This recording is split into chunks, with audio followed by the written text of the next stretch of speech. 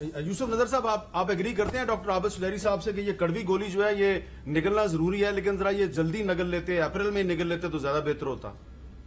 देखिए इस हद तक देखिए इंटरनेशनल प्राइसेस में इजाफा हुआ है हमें इजाफा करना था तो बात सही है। हम्म। लेकिन ये बात मुकम्मल नहीं है मैं फिर कहूँगा। मिसाल के तौर पे बीआईएसपी में जो इजाफा किया गया है बेनजीर इनकम सपोर्ट में 28 अरब रुपए यू नो उसका किया गया है और वो ये मुसद्दक साहब भी सही कह रहे हैं कि सौ अरब रुपए कॉस्ट कर रहा था।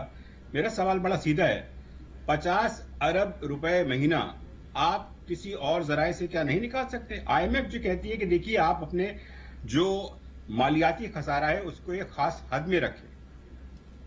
अगर आप उस हद को शराय को पूरा करते हैं तो वो आप उनसे मनवा सकते हैं। लेकिन जब आप ये कहें कि भाई, हम किसी और बद में जो है टैक्सेस में इजाफा नहीं कर सकते, हम जो होलसेल ट्रेडर्स हैं और जो रिटेल ट्रेडर्स हैं उनसे सिर्फ़ फिक्स टैक्स लेंगे।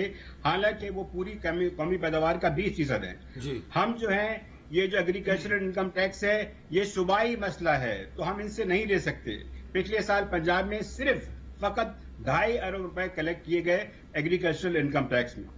कॉरपोरेशन को मैंने अभी अब आपको बताया एक अशारिया सात खरब रुपए की है भाई। उसमें आप उसको आधा ना करो वन थर्ड तो कर दीजिए। अगर आप वन थर्ड भी कर देंगे तो आपको तकरीबन चार पाँच सौ अरब रुपए जो है, उससे आप निकाल सकते हैं। लेकिन जब आपकी ये नियति ना हो, कल जो है सेनेट में फारूक नायक साहब कहते हैं कि ये ज्यूबली टैक्स क्यों लगाया गया है? मेरी समझ में नहीं आता कि जो लोगों का यह हाल है कि वो अपने रिक्शे जला रहे हैं। हमारे एक मोहतरम सेनेटर को जेवरात पे टैक्स लगाने पे एतराज़ है, चाहे उसकी वजह कुछ भी हो। तो ये जो है, जब विल विल नहीं होती तो फिर ये सारे बहाने तराशे जाते हैं।